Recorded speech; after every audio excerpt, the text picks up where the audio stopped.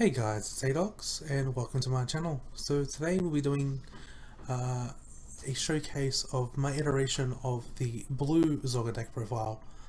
Um, the red Zorga uh, can sometimes be hard to obtain or uh, there might also be a reason why you might like the blue Zorga over red Zorga. So because of that, I thought I would do my iteration of a blue Zorga deck profile.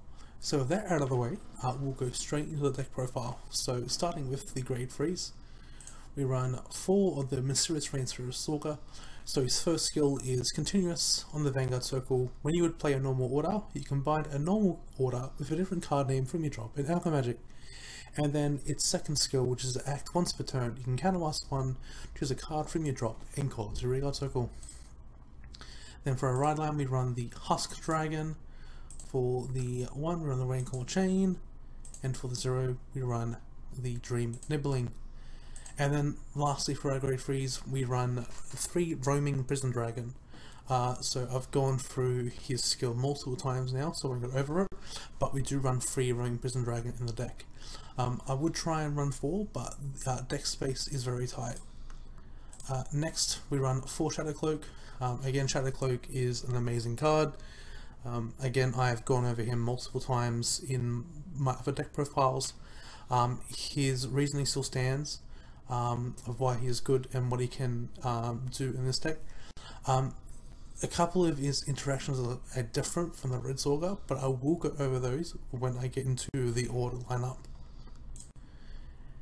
Next, we run one Axios Sticky, uh, so its skill is act once per turn, you can counterblast one and retire two if you have regards, draw a card, and then this unit gets plus 5k until the end of the turn.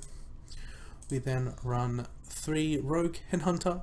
So if you play it in order this turn, it gets plus 5, and then when this unit is placed in Rearguard Circle, the next time you would act a magic and order and play it this turn, you can reduce the counter counterblast by 1. Then we also run one Sleep Tugging Bell. Um, we've gone through her um, a couple times now as well. Uh, the reason for her still stands as well, just being able to put orders from the bind zone to the drop. Uh, really is handy, should become very big uh, out of nowhere sometimes. And then lastly, for the grade ones, we run four perfect guards, self-explanatory. Uh, we'll quickly go into the triggers. So we run two Alchemic Hedgehog. I've gone into him multiple times with uh, many other deck profiles. Um, again, it's a very solid um, effect hill. Then we run two Vanilla Hills. And we run seven crit, four of them being the Insole crit. Then we run four draws. So the reason why we run draws in this build is, unlike the Red Zorga, we can't keep uh, obtaining orders from our to our hand. So we have to make sure that we always continuously have orders to use every single turn for Alchemagic. And then lastly, the over trigger because the over trigger is busted. Now, to going into the orders, we run three Cloud of Miasma, then we run three Grief, Despair, and Rejection. So what this does is for a counterblast of one, if your Vanguard is Mysterious Rain Spiritualist Zorga, you can choose three of your units and they get plus 10k into the end of turn. The next we run two Tearful Malice. Um, I've gone over this card multiple times. Um, its reasoning still stands why it's in a Zorga based deck. We run one Overcoming the Natural Death. So its skill is you can play as Counterblast of one, buy this card, choose up to two order cards from your drop, and put them into your hand.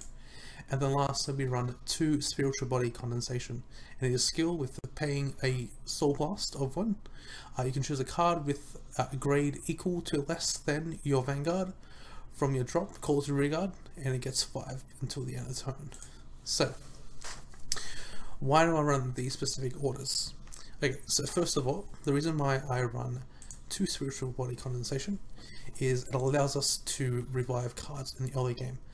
But one of the main reasons why I run this in the Zorga deck is uh, unlike the Grave Zorga, um, if we don't have multiple grade free Persona Rides set up in the drop zone, we need to find a way to make sure that we can get Zorgas in the drop zone so we can revive them to call Shadow Cloak. So what we can do is we can use Spiritual Body Condensation to Soul Blast out a Zorga to call the Zorga back and then we can use Shadow Cloak to bounce it back to hand. Uh, so that's one of the main reasons why we run Spiritual Body Condensation because we want to make sure we can always continuously Persona Ride. Next we run, reason why we run one Overcoming the Natural Death is uh, we never want to run out of steam with the Zorga deck. Uh, unlike the Red Zorga, we never run out of steam as we can always fetch orders, but if you can't uh, continuously alpha every turn, the deck starts to slow down and um, it just starts falling off and can potentially just flop and die.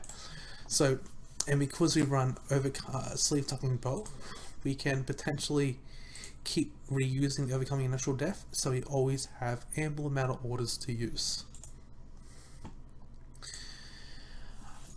If only Grief and Spare Rejection could run in the Grave Zorga build, I definitely would run a couple.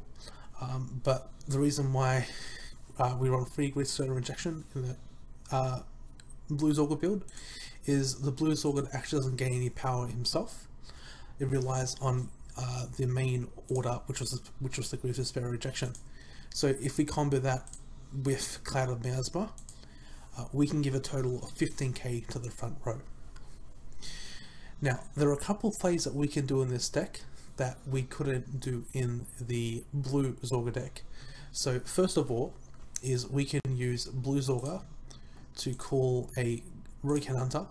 Rogue Headhunter will reduce the counterblast of one and then if we decide to use two orders of recurrent counterblast and it requires one counterblast. So uh, the option is we could um, use a Grief Despair rejection, maybe with like an overcome the natural death and only one counterblast, or we could even just use a, a spiritual body condensation in combination with Cloud of Miasma and of course a snow counterblast. So we're just kind of trying to find ways of still managing our resources, but still be able to put down a board. Uh, the Blue Zorga build's able to do that since uh, the Blue Zorga itself has its own innate ability of being able to call regards. Now, one of the big plays that we can do in this deck is if we use Active Sticky to retire our, both our own Prison Dragons, if we have them on board, we can then combo Cloud of Miasma in combination with Spray Rejection and we can give uh, three units plus 15k power, uh, hopefully in each column, and then bring our dragons out with 10k and a crit. Uh, and then we can produce very big numbers. Uh, these numbers are bigger than the Red Zorga build, uh, only because we can run Grief, Despair, and Rejection.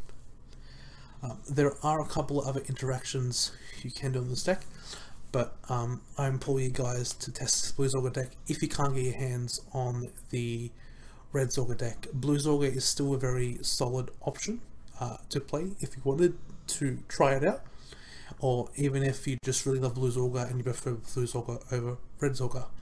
Alright, so with that out of the way, that is the deck profile. I hope you guys enjoyed it. If you did, please make sure to leave a like, make sure to subscribe, and while you're down there, hit the notification bell so next time that I upload a video, you will be notified. Alrighty, thanks for that, Adawgz out. Bye.